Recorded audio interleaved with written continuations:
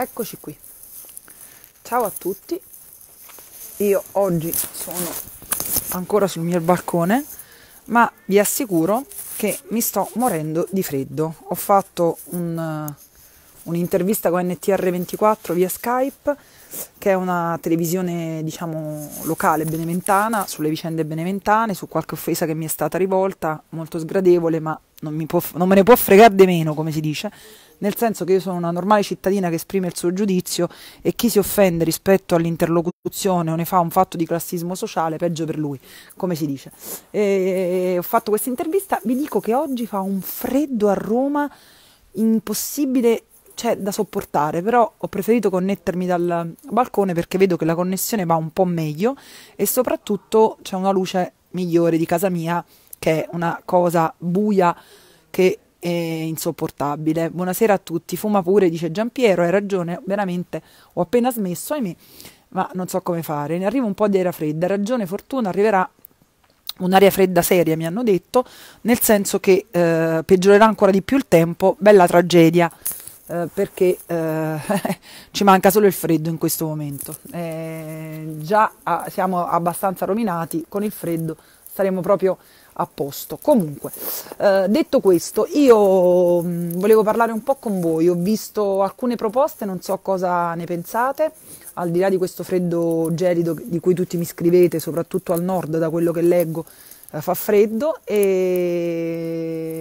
mi dice Giuseppe che sono l'unica politica decente di Forza Italia detto da un leghista. E io non sono di Forza Italia, nel senso che io non faccio più politica, adesso faccio tv, oggi un anno, un anno fa iniziavo ballando con le stelle che è stata un'esperienza stupenda, sì ho fatto anche la ballerina per fare spettacolo, mi sono molto divertita e chi mi, mi critica vuole legittimare alcune categorie peggio per lui perché invece io mi sono tanto divertita a rifare mille volte, mi ha fatto tanto bene, è stato un periodo bellissimo della mia vita. Eh, non sono più di Forza Italia come sapete, quindi grazie per il complimento, ma eh, è un partito che ho lasciato da un, un bel po'. Come sempre Gabriele è online, lo vedo che mi controlla. Eh, detto questo, visto che mi hai scritto proprio tu che sei un leghista, stavo guardando prima di connettermi e di fare l'intervista a NTR24 sulle vicende benementane, stavo oh, guardando la proposta della Lega di Salvini sulla Pax, eh, sulla pace fiscale e edilizia che sarebbe opportuna in questo momento. Io non so cosa ne pensate voi, devo dire la verità, io sono d'accordo, nel senso che eh, poiché viviamo un momento molto drammatico e il dopo sarà ancora più drammatico, tra l'altro vorrei sapere dal governo come ricominceremo a vivere, se per fasce d'età, se dovremo indossare le mascherine anche dopo, se dovremo stare a distanza quando torneremo eh, nella vita normale, sono linee guida che forse il governo, soprattutto il Ministero della Salute dovrebbe darci. Comunque detto questo noi ci sveglieremo più poveri, più depressi di prima da un punto di vista economico, è chiaro a tutti, noi come tante altre nazioni, ma noi che già avevamo qualche problemino, penso che ne avremo ancora di più. Per cui probabilmente prevedere tra le tante misure poi anche una pace fiscale ed edilizia come loro propongono, come il centrodestra propone, secondo me è una cosa buona perché eh, adesso è un momento straordinario, molti abbiamo detto sarà un dopoguerra, è una brutta parola, è brutto dirlo, però mm, purtroppo è così, cioè per rendere l'idea ci vogliono anche parole forti. Eh, vivremo periodi difficili che prevedono provvedimenti anche impopolari che normalmente non avremmo fatto, ma che ora ragazzi sono tanto utili. Cioè, questa è la mia idea, poi non so voi eh, cosa ne pensate, cosa, mi chiedi cosa ne penso di, mm, dei 5 Stelle. Beh, non sono assolutamente la mia idea, sono molto lontana da loro e ti devo dire che mh, ora non, boh, io non li sento, non li vedo, mi sembrano spariti nell'oblio quindi non lo so, io non ho mai accettato i populismi eh, beceri o comunque quelli fatti accusando gli altri. Oggi forse molti stanno capendo quanto è difficile governare quando le cose si complicano. Probabilmente ci sveglieremo con tanta necessità di buona politica e lo dico da cittadino, nel senso che io vorrò vedere eletti in Parlamento, sui territori, nelle regioni, ovunque, persone competenti, non dilettanti allo sbaraglio, soltanto perché ci fa male lo stomaco, la pancia e ci mettiamo a fare i voti di protesta, perché poi quando succedono le pandemie, ragazzi, ci vuole gente che sa quello che fa, ci vuole gente consapevole, preparata, per cui auspico sempre più buona politica e una politica fatta di persone che sanno quello che stanno facendo. Poi mi chiedete di Conte, guardate, io boh, non so neanche se Conte è più dei 5 Stelle, mi sembra abbastanza autonomo ormai da loro. È il presidente del consiglio di tutti noi, io lo rispetto, come capisco che eh, chiaramente in un momento così eh, a Conte, a Salvini, alla Meloni o a chiunque si fosse trovato eh, in questa situazione, ehm, era difficile gestire questa situazione. Non mi sento di fare una critica a Conte in questo momento eh, nel quale ci vuole collaborazione e non critica. Non è questa la stagione delle critiche. Eh, lui non, non, credo che potesse, non era preparato né lui né ness, nessun altro ad una pandemia e ad una situazione così catastrofica, per cui io direi lasciamoli lavorare, collaboriamo, ben venga la collaborazione fra le forze politiche, così come è stato chiesto appunto oggi dal Senato, eh, in questo momento sono tutti penso in, in, Parlamento appunto, da Salvini è stata chiesta collaborazione, dis, predis, molto predisposto a questo nell'interesse del Paese. E credo che eh, le proposte che arrivano dal centrodestra, anche se il centrodestra è opposizione, debbano essere considerate e quindi ben venga l'intervento che c'è stato del Presidente della Repubblica, l'intervento che ci sarà adesso, l'incontro con Draghi, perché è giusto che tutti possano dare il proprio contributo eh, a questo Paese. E, e anche perché dobbiamo essere uniti per la battaglia che ci aspetta e ci attende contro l'Europa. E dico contro perché è un'Europa egoista e quindi noi dobbiamo far sentire la nostra voce in maniera unita in maniera forte. Eh, credo che questo lo sappia anche Conte, eh, che ha preso, che non ha firmato, non ha accettato eh, le, le, cose che proponeva l'Europa e tutti insieme immagino che eh, si troverà una soluzione per farci rispettare e per avere misure migliori da un'Europa che ci deve sostenere e non soltanto romperci le scatole eh, come ha sempre fatto in passato. Eh, oggi è arrivato il momento della verità, arriveranno tanti nodi eh, al pettine, ci sono già arrivati e abbiamo visto la sanità nel sud che è carente, abbiamo visto le difficoltà eh, che il paese vive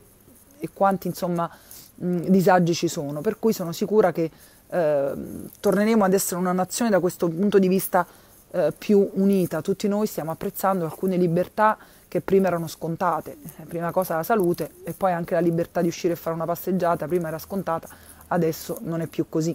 Eh, dice Anna che noi dobbiamo fare sacrifici, eh, però non ho res- letto um, il resto, mi dispiace molto,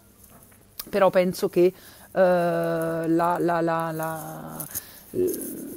al popolo è chiesto un grande sacrificio, ma deve essere uh, tutelato e coperto in questo momento difficile e mi auguro che vengano prestissimo fatto fatti provvedimenti che possano dare risposte a tutte le categorie che sono rimaste fuori dalle pre- protezioni a cui è tenuto appunto lo Stato. Eh, la battaglia, dici bene, sarà fronteggiare la crisi economica, certo, sarà fronteggiare la crisi economica che sarà tantissima, sarà fortissima, che vento e che freddo. E, mh, mm, lo so, tu dici Giorgio che noi dobbiamo uscire dall'Europa, ma non dobbiamo uscire dall'Europa perché se restiamo pure soli io non lo so come ne usciamo, noi non abbiamo non siamo un paese forte, noi siamo un paese che dovrà fare tanto debito pubblico, come dice Draghi, ed è giusto, ma uscire dall'Europa e restare soli, ma come si fa? Non è questo, dobbiamo pretendere un'Europa molto, molto, molto più forte, perché oggi non c'è un'Europa, dice bene Luca, eh, non c'è un'Europa e noi dovremmo costruire un'Europa forte che sia di opportunità, non c'è dubbio da questo punto di vista.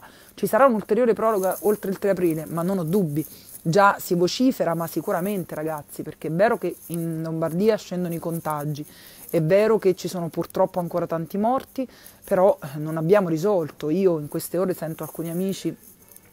un mio amico in particolare che l'ha contratto, stava benissimo, una persona in grande forma fisica, che fa sport, che, sta, che stava perfettamente con le analisi, con il quadro clinico e ha preso il coronavirus, poi ha avuto la febbre e adesso sta col respiratore. Eh, non possiamo riaprire e pensare di far morire le persone, per cui io immagino che dopo il 3 aprile ci sarà ancora una proroga e credo che sia dovuta. In ogni caso non lo decide un politico con un tweet, lo decideranno i comitati tecnici scientifici che devono fare questo. Alfonso, tu mi chiedi se Conte farà un partito, non lo so, ma forse sì